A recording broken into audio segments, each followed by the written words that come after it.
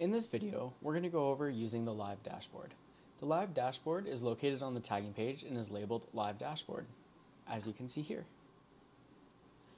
If you need assistance actually connecting to the tagging page, you can take a look at the previous video labeled connecting to the tagging page.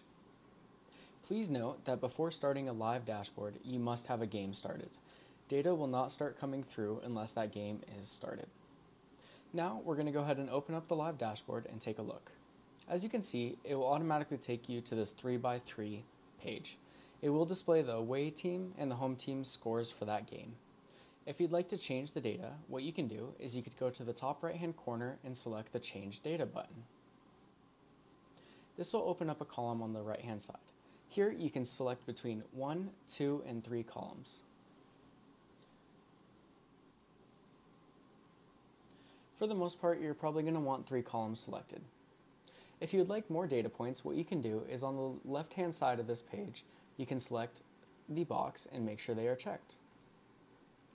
As you can see here, they are adding themselves to the bottom of the page itself. If you'd like to move those to the top, what you can do is you could select the three lines on the right hand side and move that up. As you can see, release side is now going to be located in that top left hand corner. You can add as many data tiles as you'd like, you will just have to scroll down the page to actually view them. In the bottom left hand corner, you can see that you could switch between um, imperial and metric. Imperial is going to be things like inches and miles per hour, whereas metric is going to be kilometers per hour and centimeters.